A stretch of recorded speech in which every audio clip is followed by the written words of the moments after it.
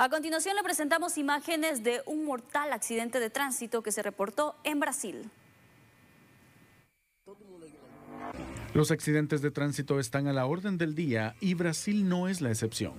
Este video se ha viralizado tras mostrar el momento justo en el que un joven de 24 años protagoniza un accidente al estrellarse contra un poste mientras conducía a alta velocidad en una motocicleta que le había prestado un amigo.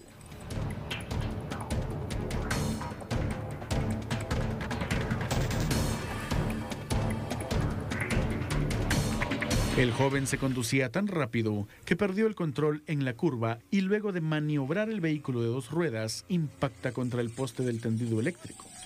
De inmediato fue trasladado a un centro asistencial ya que se encontraba en estado grave.